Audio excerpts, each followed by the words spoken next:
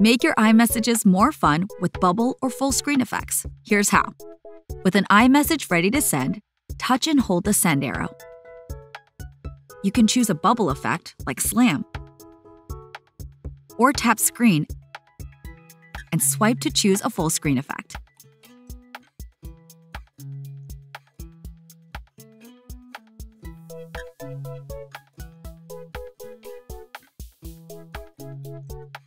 How about this one?